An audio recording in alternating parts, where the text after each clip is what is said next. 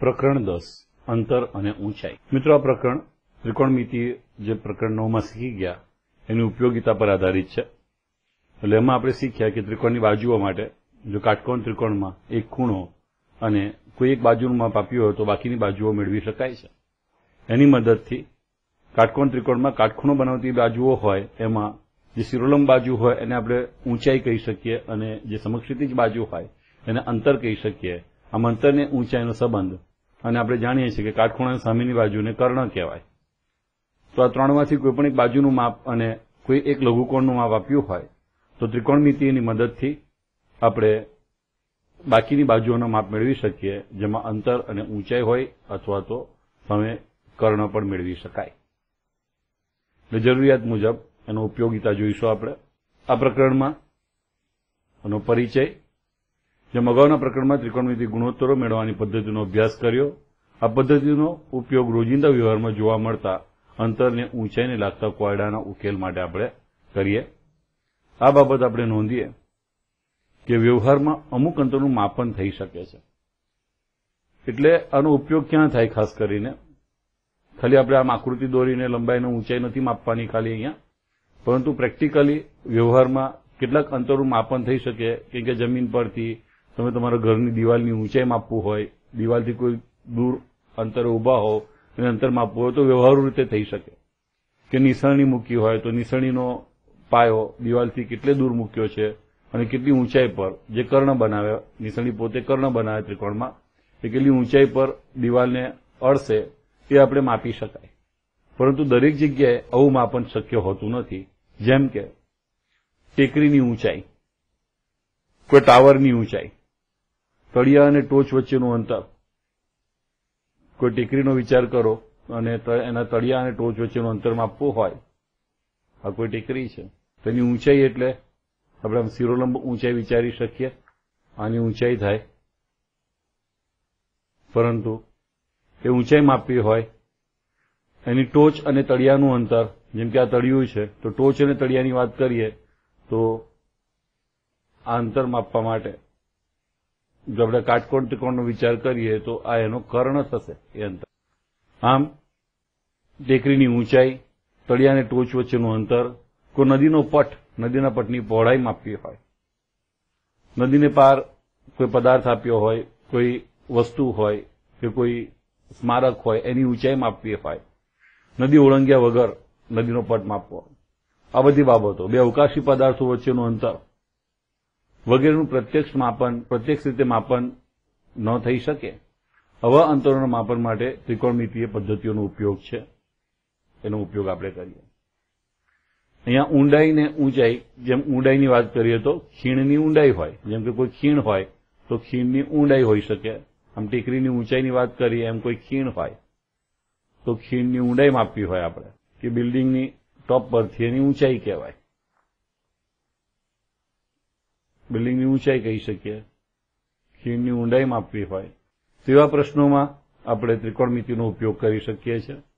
ઊંચાઈને ઊંચાઈ અથવા ઊંડાઈ સાથે કામ કરતી વખતે આપણે બે પ્રકારના ખૂણાની જરૂર પડે. જે આપણે જોયું કે ત્રિકોણના કોઈ એક ખૂણો લઘુકોણ અને કોઈ એક બાજુનું માપ ખબર હોય તો ત્રિકોણમિતિનો ઉપયોગથી આપણે અંતરની ઊંચાઈના પ્રશ્નો ઉકેલી શકીએ.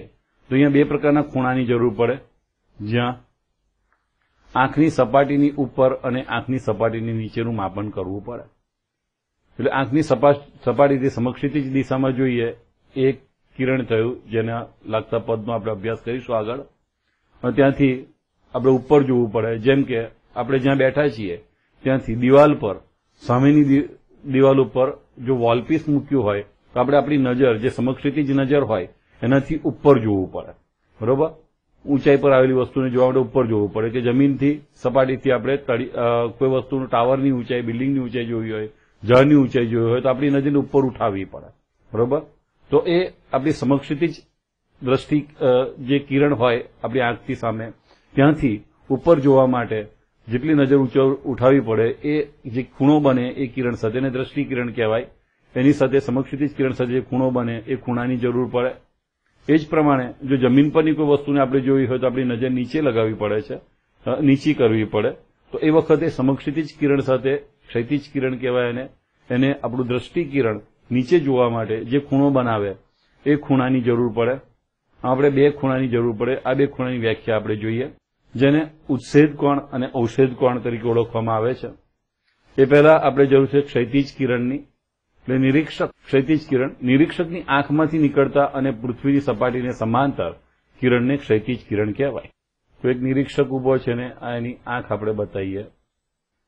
આ પૃથ્વીની સપાટીને સમાંતર નિરીક્ષકની આંખમાંથી નીકળતા પૃથ્વીની સપાટીને સમાંતર. અકિરણને કિરણને ક્ષૈતિજ કિરણ કહેવાય. જે પૃથ્વીની સપાટીને સમાંતર ક્ષૈતિજ કિરણ કહેવાય અને ક્ષૈતિજ એટલે ક્ષિતિજ ક્ષિતિજ એટલે અંગ્રેજીમાં એને હોરિઝોન કહેવાય, હોરિઝોન્ટલ કહેવાય. હોરિઝોન એટલે હોરિઝોન્ટલ. એટલે ક્ષૈતિજ કિરણને હોરિઝોન્ટલ રે.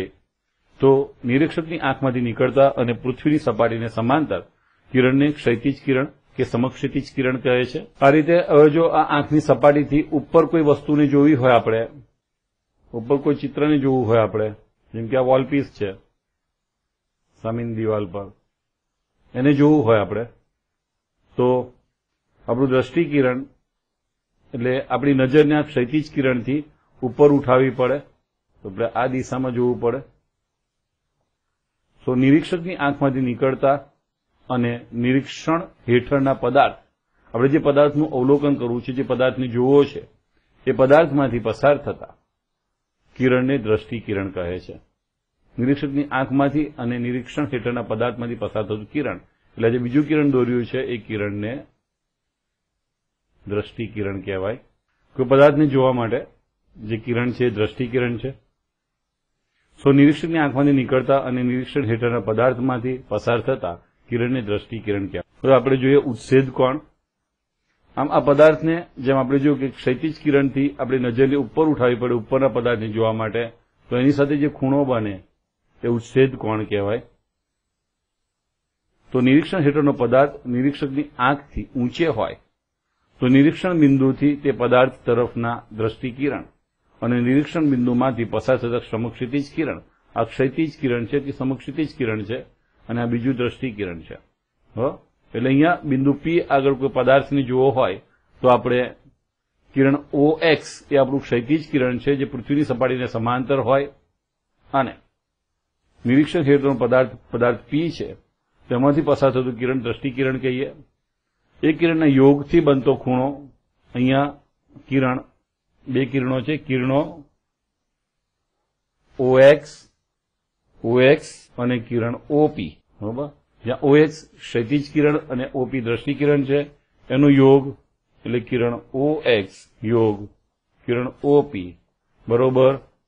ખૂણો પીઓ એક્સ થાય પીઓ એક્સ થાય. આ ખૂણાને ઉચ્છેદ કોણ કહે છે? એટલે સમક્ષિતિજ કિરણ અને દ્રષ્ટિ કિરણથી ના યોગથી બનતા ખૂણાને તે પદાર્થનો નિરીક્ષણ બિંદુની સાપેક્ષ જે બિંદુનું અવલોકન કરવું છે, એની સાપેક્ષમાં ઉચ્છેદ કોણ કહેવાય? જ્યારે આપણે ક્ષૈતિજ કિરણની નજર ઉપર ઉઠાવી પડે, તો બનતો ખૂણો, દ્રષ્ટિકિરણ અને ક્ષૈતિજ કિરણ વચ્ચે બનતો ખૂણો, એ ઉચ્છેદ કોણ છે? અહીં ક્ષૈતિજ કિરણ અવલોકનકાર અને પદાર્થ એક જ શિરોલંબ સમતલમાં છે. આ બધાને માટે સમાવતું સમતલ એક જ છે એવું વિચારી શકાય. અથવા એક સમતલ માટે જ લાગુ પડે. આ બધા એટલે અવલોકનકારની દ્રષ્ટિ, ક્ષૈતિજ કિરણ, અવલોકનકાર પોતે અને પદાર્થ એક જ સમતલમાં શિરોલમ સમતલમાં છે. આ જ બાબત સમજવા માટે જેમ કે અહીંયા કોઈ પદાર્થ આપ્યો છે એ પદાર્થની ટોચને જોવું હોય, તો આ સમક્ષિતિજ કિરણ જે પૃથ્વીની સપાટીને સમાંતર છે અને આ દ્રષ્ટિ કિરણ આ ક્ષૈતિજ કિરણ કે સમક્ષિતિજ કિરણ અને આ દ્રષ્ટિ કિરણ જે ખૂણો બનાવે છે, એ ખૂણાને ઉત્સેદ કોણ કહેવાય. અહીંયા ઈ દ્વારા દર્શાવ્યું છે ઉત્સેદ કોણ છે. એટલે આપેલા ઊંચા પદાર્થને જોવા માટે દ્રષ્ટિ ઉપર લેવી પડે, એનાથી બનતા દ્રષ્ટિ કિરણ અને સમક્ષિતિજ કિરણ વચ્ચેના ખૂણાને ઉત્સેદ કોણ કહેવાય, જેને અંગ્રેજીમાં એંગલ ઓફ એલિવેશન કહેવામાં આવે છે. ઔષધ કોણ? Angle of depression. જેમ કે આપણે ક્ષૈતિજ કિરણ સમક્ષિતિજ કિરણથી નીચે કોઈ પદાર્થને જોવો હોય. તો આપણે નજર નીચી કરવી પડે. એટલે નિરીક્ષણ હેઠળનો પદાર્થ જ્યારે નિરીક્ષકની આંખથી નીચે હોય, પણ નિરીક્ષકની બિલકુલ નીચે ન હોય, એકદમ નીચે હોય તો લંબ થઈ જાય. હ? આમ બિલકુલ નીચે ન હોય ત્યારે નિરીક્ષણ બિંદુમાંથી પસાર થતા, અહીંયા બિંદુ ક્યુ એ નિરીક્ષણ હેઠળનું બિંદુ છે. કે જે પદાર્થનું અવલોકન કરવું છે પદાર્થ છે.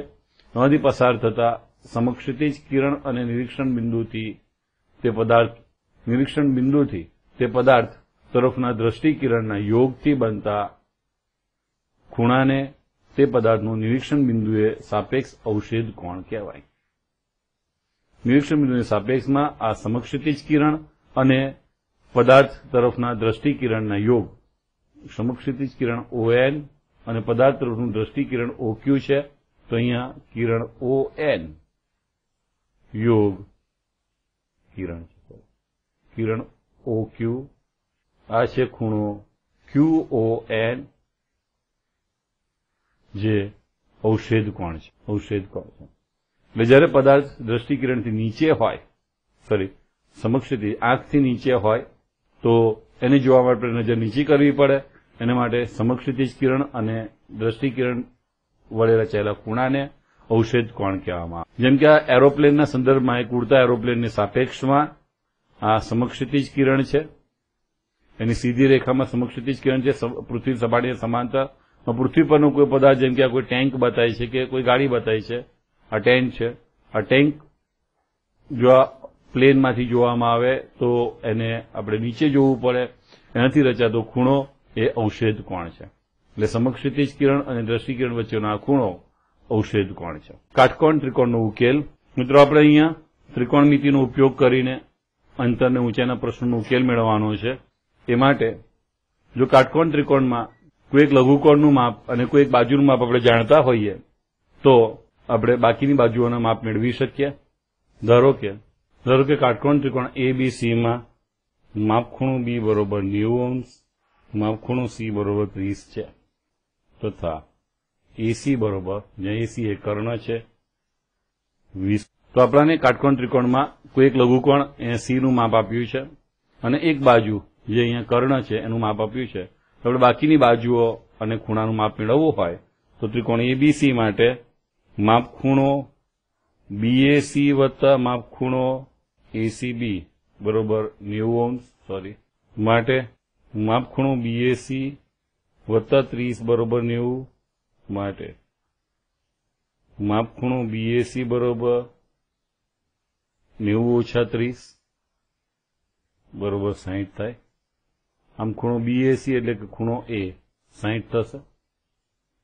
આ ખૂણો તો નેવું છે જ અને ત્રીસ. આમ ત્રણે ત્રણ ખૂણાના માપ મળી ગયા. હવે અહીંયા ખૂણા બીની સામેની બાજુ કર્ણ આપી છે.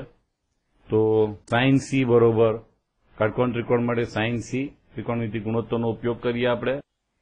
સાઇન સી બરોબર. ખૂણા સી માટે સામેની બાજુ છેદમાં કર્ણ. એબીના છેદમાં એસી પણ સીની કિંમત ત્રીસ છે માટે સાઇન ત્રીસ બરોબર. એબીના છેદમાં એસી એટલે વીસ માટે સાઇન ત્રીસની કિંમત દૃત્યાંશ બરોબર. એબીના છેદમાં વીસ માટે એબી બરોબર. વીસ ભાગ્યા બે આ વીસ સમી જાય એટલે વીસ ભાગ્યા બે બરોબર દસ થાય. એ બી બરોબર દસ એબીની કિંમત છે દસ મીટર. એ માપ મીટરમાં આપ્યું છે તો. આ જ પ્રમાણે જો કોસ સી નો વિચાર કરો, બરોબર કોસ સી બરોબર બીસી ના છેદમાં એસી માટે. કોસ ત્રીસ બરોબર બીસી શોધવાનું છે. એસી બરોબર વીસ. હવે કોસ ત્રીસની કિંમત છે. વર્ગમૂળ ત્રણ દૃત્યાંશ બરોબર બીસીના છેદમાં વીસ માટે બીસી બરોબર વીસ ગુણ્યા વર્ગમૂળ ત્રણના છેદમાં બે. બરોબર દસ દુ વીસ એટલે દસ વર્ગમૂળ ત્રણ. વર્ગમૂળ ત્રણની કિંમત એક પોઈન્ટ તોતેર. તો દસ ગુણ્યા એક પોઈન્ટ તોતેર માટે બીસી બરોબર બીસી બરોબર સત્તર પોઈન્ટ ત્રણ મીટર. આમ, મિત્રો, અંતર અને ઊંચાઈના પ્રશ્નના ઉકેલ માટે આપણે અંતર અને ઊંચાઈના ઉકેલ માટે આપણે કાટકોણ ત્રિકોણમાં જો એક ખૂણો આપેલો હોય લઘુકોણ અને કોઈક બાજુનું માપ આપ્યું હોય તેનો ઉપયોગથી આપણે બાકીના માપ શોધી શકીએ છીએ. મિત્રો, અહીંયા અગત્યની બાબત એ છે કે આપણે જે અગાઉ પ્રકરણ નવમાં શીખી ગયા, કોઈ ચોક્કસ વિશિષ્ટ ખૂણાઓના માપ, જેમ કે આ સાહીઠ અને ત્રીસ ખૂણા આપ્યા છે. તો એની આપણે અહીંયા ખાસ જરૂર પડશે. એનું અહીંયા કોષ્ટક આપ લોકોને આપ્યું છે. તો કોષ્ટકનો અભ્યાસ કરવો. એમાં ખાસ કરીને ખૂણાના માપમાં ખાસ કરીને ત્રીસ, પિસ્તાલીસ અને સાહીઠનો આ પ્રકરણ માટે ઉપયોગ કરીશું ખાસ. જેમાં sine cos tan cosec sec અને કોટ એ. એમાં મુખ્યત્વે જેમ આપણે ઉપર જોયું, જો કર્ણનું માપ આપ્યું હોય અને બાજી, બાકીની બાજુઓ મેળવવી હોય, કાટખૂણો બનાવતી બાજુઓ, તો આપણે સાઇન અને કોસનો ઉપયોગ કરીએ. અને જો બાજુઓનું કોઈ માપ આપ્યું હોય, કાટખૂણો બનાવતી બાજુ માપ્યું હોય, તો આપણે ટેનનો ઉપયોગ કરીએ. કોટનો પણ ઉપયોગ કરી શકાય. એટલે સાઇન, કોસ અને ટેન, એની આ પ્રથમ ત્રણ મૂલ્યો તો ખૂબ જ અગત્યના છે, જે આપણે આપણા ધોરણ નવમાં સોરી ધોરણ દસમાં, આ પ્રકરણમાં મુખ્યત્વે આ વિશિષ્ટ ખૂણો ત્રીસ, પિસ્તાલીસ અને સાહીઠ માટે જ અભ્યાસ કરીશું. પરંતુ આ બાબત કોઈપણ ખૂણા માટે લાગુ પડે. એટલે ખૂણાનું માપ અઠ્ઠાવન હોય એને માટે પણ કહી શકાય. પાંત્રીસ અંશ અને ત્રણ મિનિટ હોય એને માટે પણ કરી શકાય. પણ એનો અભ્યાસ આપણે ઉચ્ચ વર્ગમાં કરીશું. એટલે અગિયારમાં બારમા ધોરણમાં આવશે. કેમ કે એ ખૂણાઓનું માપ માટે, એની માટેની પ્રમાણિત કિંમતો, એમાં સાઇન કોસ અને ટેન સેક કોસેકની કિંમતો માટે આપણે સાઇન ટેબલની જરૂર પડે. જે ગયા વર્ષે લોક ટેબલ શીખ્યા હતા, એ લોક ટેબલની પુસ્તિકામાં તમે કદાચ સાઇન ટેબલ ને કોસ ટેબલ જોયું હોય. બરોબર? એમાં ખૂણાના માપ પરથી એના ગુણોત્તરની કિંમત મેળવી શકાય. આપણે આ કેટલીક વિશિષ્ટ ખૂણાઓની કિંમતો મેળવી છે, એનો ઉપયોગ કરી અને અંતર ઊંચાઈના પ્રશ્નનો ઉકેલ મેળવીશું. એ સિવાય કેટલાક અંતરને ઊંચાઈના પ્રશ્નોમાં કોઈ ચોક્કસ પરિસ્થિતિ માટે એના સૂત્રોની તારવણી જોઈશું. આપેલી પરિસ્થિતિ માટે, આપેલા ખૂણા માટે. કોઈ પણ ખૂણો હોય, ખૂણામાં કોઈ પણ હોય એક જનરલ ફોર્મ્યુલા વ્યાપક સૂત્ર મેળવીશું કેટલીક ચોક્કસ પરિસ્થિતિ માટે. એવા કેટલાક સૂત્રોની તારવણીનો પણ અભ્યાસ કરીશું. આમ, ત્રિકોણની બાજુઓમાં, જો કાટકોણ ત્રિકોણમાં એક બાજુનું માપ અને એક ખૂણાનું માપ ખબર હોય, તો એની મદદથી આપણે બાકીની બાજુઓ મેળવી શકીએ. એટલે કે અંતર અને ઊંચાઈ અથવા જેમ કે ટેકરીની તળિયા અને ટોચ વચ્ચેનું અંતર જોઈએ તો એને આ કર્ણ કહેવાય. કાટકોણ ત્રિકોણ કર્ણ થાય. આમાંથી કોઈ પણ જરૂરિયાત મુજબની લંબાઈ આપણે મેળવી શકીએ છીએ. બરોબર? તો ખાસ કરીને પ્રકરણ દસ માટે આપણે ત્રીસ, પિસ્તાલીસ, સાહીઠની કિંમતો, એમાં પણ મુખ્યત્વે સાઇન કોસ અને ટેનનો ખાસ ઉપયોગ કરીશું. એ ખાસ યાદ રાખવી એની વારંવાર જરૂર પડે. મિત્રો, પ્રશ્ન એ થાય છે કે જેમ આપણે આનો ઉપયોગની વાત કરી, તો ઉપયોગીતા માટે આપણે આનો ઉપયોગ જે માપ ન લઈ શકાય, જેનું માપન ન કરી શકાય, એવી પરિસ્થિતિમાં ઉપયોગ કરવાની વાત કરી. તો માપન ન કરી શકાય, તો આપણાને એ પદાર્થની ઊંચાઈ, કે વસ્તુની ઊંચાઈ, કે સ્મારકની ઊંચાઈ, કે નદીની પહોળાઈ, નદીના તટની પહોળાઈ, કે ટાવરની ઊંચાઈ કેવી રીતે મપાય. આ બધી પરિસ્થિતિઓ દર્શાવી છે જ્યાં આપણે એનો ઉપયોગિતા સમજીએ અને પછી એ કેવી રીતે માપવું એને માટેની પ્રક્રિયા શીખીશું. તો પહેલા તો આ ઉપયોગિતા દર્શાવતા અગાઉ જે ચર્ચા કરીએ મુજબના જુઓ. તો આ ટોચ જેમ કે ઝાડના ટોચની ઊંચાઈ માપવી હોય, તો ઝાડના ટોચથી શિરોલંબ આપણે એ જમીનને શિરોલંબ છે એવું વિચારીને ચાલીએ. બરોબર? અને એ શિરોલંબ જે ઊંચાઈ બતાવે, જે ઝાડની ઊંચાઈ બતાવે, અને ઝાડથી એક્સ અંતરે આવેલા કોઈ બિંદુ એ થી આ ખૂણો ઠીટા આપણાને ખબર હોય, એ ઠીટા કેવી રીતે માપવો પછી ચર્ચા કરીશું. તો એ ઠીટા ખબર હોય તો આપણે ઝાડની ઊંચાઈ, કોઈ એક ઊંચાઈ આપેલી ત્રિકોણની ત્રણ બાજુ કાટકોણ ત્રિકોણની રચના થાય છે. મધ્ય ત્રિકોણની ત્રણ બાજુમાંથી કોઈ પણ એક બાજુ અને ખૂણો ખબર હોય તો ઊંચાઈ માપી શકીએ. અને ઊંચાઈ ખબર હોય તો અંતર માપી શકીએ અથવા અંતર ખબર હોય તો ઊંચાઈ માપી શકીએ. એટલે ઝાડની ઊંચાઈ માપવા માટે આપણે ઝાડથી થોડે દૂર ઊભા રહીએ તો ઝાડથી આપણું અંતર માપી શકીએ. અને ત્યાંથી આ ખૂણો માપવા માટે આપણે ત્રિકોણમિતિ પરિકર જેને ટ્રિગોનોમેટ્રિક પ્રોટેક્ટર કહેવામાં આવે, એનો ઉપયોગ કરીએ. જે આના પછીના ભાગમાં હું સમજાવીશ. એ જ રીતના આ બિલ્ડિંગ પર ઉભેલી વ્યક્તિ બિલ્ડિંગની ઊંચાઈ માપવા અથવા તો ઝાડ અને બિલ્ડિંગ વચ્ચેનું અંતર માપવા માટે જુઓ તો આ સમક્ષિતિજ સોરી આ શિરોલંબ બિલ્ડિંગ છે, આ જમીનની સપાટી છે, એનાથી ઝાડ પણ શિરોલંબ છે. બરોબર? પણ ઝાડ અને જમીન વચ્ચેનું અંતર માપવા માટે આપણે એક સીધી રેખા જોડી અને ઊભી, ઉપર ઉભેલી વ્યક્તિનું આપણે સૌથી સીધી સપાટી, શિરોલંબ બાજુનો વિચાર કરીએ આપણે. આ શિરોલંબ જે દીવા, આપણે દિવાલ જે શિરોલમ છે જમીન સાથે, અને વ્યક્તિની દ્રષ્ટિ કિરણ આ દ્રષ્ટિ કિરણ કહેવાય. બરોબર? એની આ સમક્ષિતિ જ કહેવાય, આ ક્ષૈતિજ કિરણ કહેવાય. એનાથી દ્રષ્ટિ કિરણ સાથે બનેલો ખૂણો આપણાને મળે. તો એની મદદથી આપણે આ બે પદાર્થો વચ્ચેનું અંતર શોધી શકીએ. એટલે બિલ્ડિંગ અને ઝાડ વચ્ચેનું અંતર શોધી શકીએ. અહીંયા અવષેધ કોણ બને? ઔષધ કોણ મળે? તો આ બાકીનો ખૂણો, આમ સિરોલમ છે, એટલે આ નેવુંસના ખૂણામાં ત્યાં બાદ કરીને મેળવે? અથવા તો આ બે સમાંતર કિરણો, આ ક્ષૈતિજ કિરણ અને જમીન, એ સમાંતર છે, એટલે આ બે સમાંતર રેખાઓની છેદિકાથી બનતા અંતઃકોણની મદદથી ઔષધ કોણનું માપ અને અંતઃકોણનું માપ સરખું હશે. બે સમાંતર રેખાઓની છેદિકાથી બનતા સોરી યુગ્મ કોણ આ યુગ્મ કોણ બને યુગ્મ કોણ સોરી આ બે સમાંતર રેખાઓની છેદિકાથી બનતા યુગ્મ કોણની મદદથી આ બંને માપ સરખા હોય એટલે ઔષધ કોણ જે છે એ જ ખૂણો અહીંયા ઝાડ પાસે બને. એની મદદથી આપણે, અને અંતર ખબર હોય કે ઊંચાઈ ખબર હોય તો આપણે અંતર શોધી શકીએ અને અંતર ખબર હોય તો ઊંચાઈ શોધી શકીએ. આ જ પ્રમાણે આ વ્યક્તિ, તમે જુઓ તો આ જે ઊંચાઈ આપી છે, એમાં વ્યક્તિની ઊંચાઈને આપણે અહીંયા અવગણી છે. બરોબર છે? પણ બહુ મોટા બિલ્ડિંગ હોય તો વ્યક્તિની ઊંચાઈ બહુ ખાસ મહત્વ ન રાખે. પણ જો આપી હોય આપણે વ્યક્તિની ઊંચાઈ, જેમ કે આ બાજુની આકૃતિમાં જુઓ, તો અહીંયા ટોટલ ઊંચાઈ, બિલ્ડિંગની આખી ઊંચાઈ આ જમીનની સપાટીથી નથી માપતો. એ જ્યાં ઊભો છે, એની ઊંચાઈ એટલે વ્યક્તિની ઊંચાઈ છે. એનો પણ આપણે ધ્યાન રાખવું જોઈએ. તો એની મદદથી આપણે પહેલા આ બાકીની ઊંચાઈ જ્યાં બી બતાવી છે એ અને એમાં આ વ્યક્તિની ઊંચાઈ ઉમેરી દઈએ તો બિલ્ડિંગની ઊંચાઈ મળે. જેમ આકૃતિમાં જોઈએ, તો આ કિરણ, આ દ્રષ્ટિ કિરણ બને, આ દ્રષ્ટિ કિરણ બને, આ ક્ષૈતિજ કિરણ છે, અને આપણે જો આ વ્યક્તિ ઊભો છે, એનું અંતર તો આપણે માપી શકીએ, અંતર એ માપી શકીએ, તો આ બિલ્ડિંગની ઊંચાઈ માપી શકીએ આપણે. એટલે બિલ્ડિંગની ઊંચાઈ ગણતરી ત્રિકોણમિતિનો ઉપયોગ કરીને શોધી શકીએ. અને આખી બિલ્ડિંગની ઊંચાઈ, એટલે અહીંયા ઊંચાઈ બી આ ક્ષતિજ કિરણના સંદર્ભમાં ઊંચાઈ બી મળશે. હવે એમાં વ્યક્તિની ઊંચાઈ ઉમેરીએ તો આપણને કુલ ઊંચાઈ, બિલ્ડિંગની કુલ ઊંચાઈ એચ મળે. એટલે કુલ ઊંચાઈ એચ માટે વ્યક્તિની કુલ ઊંચાઈ સોરી આ બિલ્ડિંગની ઊંચાઈ એચ બરોબર બી વત્તા, જો આને એચ વન કહું, તો ઊંચાઈ થશે બી વત્તા એચ વન બિલ્ડિંગની ઊંચાઈ બી વત્તા એચ વન થાય, વ્યક્તિની ઊંચાઈ ઉમેરવી પડે. આ રીતના આપણે મેળવી શકીએ.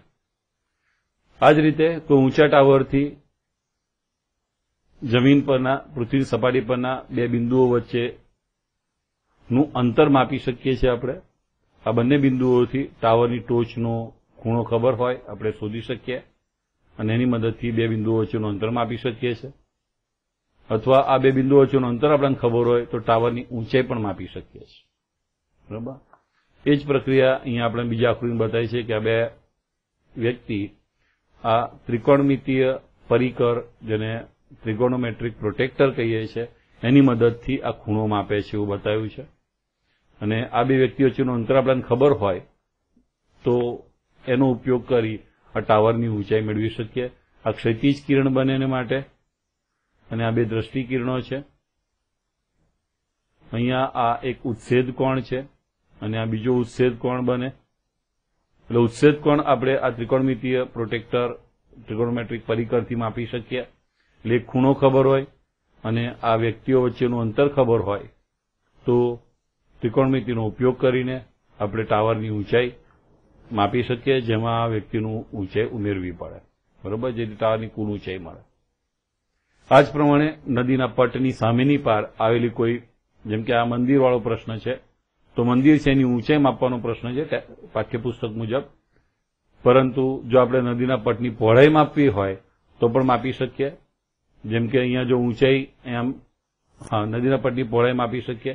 ઊંચાઈ આપી છે વીસ મીટર મંદિરની, તો પટની પહોળાઈ માપવા માટે પણ એનો ઉપયોગ થઈ શકે. એટલે એકચ્યુઅલી નદી ઓળંગ્યા વગર નદીના પટની પહોળાઈ માપવા માટે સમય પાર રહીને આપણે એક નદી મંદિરના ટોચ સાથેનો આ ઉચ્છેદ કોણ શોધી લઈએ? તો એની મદદથી એટલે ખૂણો અને ઊંચાઈ બેની મદદથી આપણે નદીના પટની પહોળાઈ મેળવી શકીએ. મિત્રો પ્રશ્ન એ થાય છે કે આ ત્રિસંશનો ખૂણો આપ્યો છે. અહીંયા ખૂણો આલ્ફા, બીટા કીધું છે. અહીંયા કોઈ ખૂણો બને કે આ બિંદુ આગળ આ વ્યક્તિ જે બિલ્ડિંગની ઊંચાઈ માપી રહ્યો છે, એને માટે ખૂણો બને કે આ બિલ્ડિંગની ઉપર ઊભો રહીને જે ઝાડનું ઝાડનું મૂળિયા જમીન સાથેનો સંપર્ક એ જોઈ રહ્યો છે, એનું તળિયું જોઈ રહ્યો છે. તો આ ખૂણો માપવો કેવી રીતે? કે ઝાડની ટોચ, આ જમીન પરના બિંદુથી માપવી કેવી રીતે? એને માટે ત્રિકોણમિતિ પ્રોટેક્ટર, તમે જુઓ છો તો આપણે પોતે પણ બનાવી શકીએ. એક સિમ્પલ સાદું જે આપણું કોણ માપક છે, એમાં આ જે મધ્યબિંદુ હોય છે, એ બિંદુમાં કાણું કરી અને દોરી પરોવી અને દોરીના છેડે વજનદાર પથ્થર લટકાવો. જે દોરી સમક્ષિતિ જ રહે. તમે જોતા નેવું અંશને લાગેલી રહે. હવે એને આમ વાંકું કરીએ તો આ વજનને કારણે દોરી નીચે રહેશે અને નેવું અંશ જેટલો ખૂણો બનાવે છે. બરોબર? જેટલું તમે વાંકું કરશો, એટલે આમ ઊંચું કરો છો એક બાજુથી, એટલું એ વસ્તુને જોવા માટે આપણે, એટલે આ જે ધાર છે આની, આ ત્રિકોણમિતીય પરિકર કહીએ આપણે એને કે ટ્રિગોનોમેટ્રિક પ્રોટેક્ટર કહીએ સિમ્પલ પ્રોટેક્ટર છે આ. એની ધારથી આપણે વસ્તુની ટોચ જોવામાં આવે. જેમ કે આ બીજી આકૃતિમાં બતાવ્યું છે એ આ જે સ્ત્રી છે, એ જુઓ આ કેવું વાંકું ત્રિકોણમિતિ પ્રોટેક્ટર વાંકું કર્યું. જેથી કોઈ પદાર્થ, ઉપર કોઈ પદાર્થ, દ્રષ્ટિથી ઉપરના કોઈ પદાર્થને અહીંયા એક નળી મૂકીએ છીએ. જો નળી ચોંટાડી છે, સિમ્પલ નળી, ભૂંગળી જે આપણે સ્ટ્રો ઉપયોગ કરતા હોય છે, એને ચોંટાડી છે જેથી તમે આપેલી પદાર્થની ટોચ જોઈ શકો. પદાર્થની ટોચ કે પદાર્થનું તળિયું નું બિંદુ જોવું હોય, તો એને માટે આ ભૂંગળીની મદદથી જોઈ શકો. જેનાથી આ પથ્થર સાથે લટકાયેલી દોરી દોરી પર લગાવેલો પથ્થરને કારણે એ દોરી કે આ નેવું અંશ સાથે ખૂણો બનાવશે, એ ખૂણાની મદદથી આપણે બાકીની જે ગણતરી અગાઉ શીખ્યા ત્રિકોણનો ઉપયોગ કરીને ત્રિકોણમિતિની મદદથી એ પદાર્થની ઊંચાઈ કે પદાર્થ ના તળિયા અને આપણે ઊભા છે કે બે પદાર્થો વચ્ચેનું અંતર, તળિયા વચ્ચેનું અંતર એ મેળવી શકીએ. મુખ્યત્વે આ ત્રિકોણમિતિય પ્રોટેક્ટર ત્રિકોણ ટ્રિગોનોમેટ્રિક પ્રોટેક્ટર છે આ. ટ્રિગોનોમેટ્રિક પ્રોટેક્ટર ત્રિકોણમિતિય. એની મદદથી ખૂણો માપી શકાય. જેમ આ બીજી બે આકૃતિઓમાં પણ જુઓ તમે, તો સમજી શકો છો આકૃતિ જોઈને કે આ જે ધાર છે એની, એ ધારથી આ પ્રોટેક્ટર છે, એને વાંકું કરીએ છીએ અને એ ધારની સાપેક્ષમાં સીધી લીટીમાં કોઈ ઉપરના પદાર્થની ટોચ જોવામાં આવે. આપણે જ્યાં ઊભા છીએ ત્યાંથી પદાર્થના તળિયાનું, જમીન પરના તળિયા વચ્ચેનું અંતર આપણે જાણી શકીએ, માપી શકીએ. તો અંતર ખબર હોય અને આ ખૂણો મળે, તો એક ખૂણો કાટકોણ ત્રિકોણમાં લઘુકોણ અને કોઈ એક બાજુનું માપ. ખબર હોય તો બીજી બાજુનું માપ મેળવી શકીએ. એટલે ઊંચાઈ, જો અંતર ખબર તો ઊંચાઈ કે ઊંચાઈ ખબર તો અંતર મેળવી શકાય. આવું સાદું ત્રિકોણમિતિય પ્રોટેક્ટર પરિકર તમે જાતે પણ બનાવી શકો છો.